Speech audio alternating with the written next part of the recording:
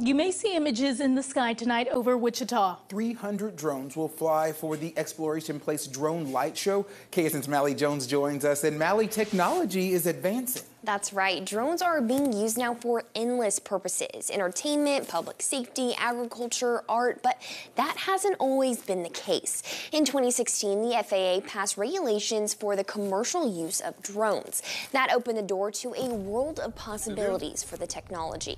The FAA has certain weight requirements for drones, and miniaturization has played a huge role in the drones becoming smarter and more technologically advanced. Grant Jansen is unmanned aircraft faculty at WSU Tech and says while the drone industry has changed itself, it has changed other industries.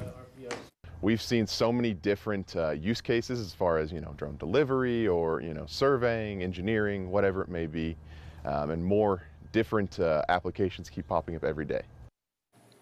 Before the FAA change in 2016, drones had limitations. I'm putting that story together for six. Here for you, Mally Jones, KSN News 3.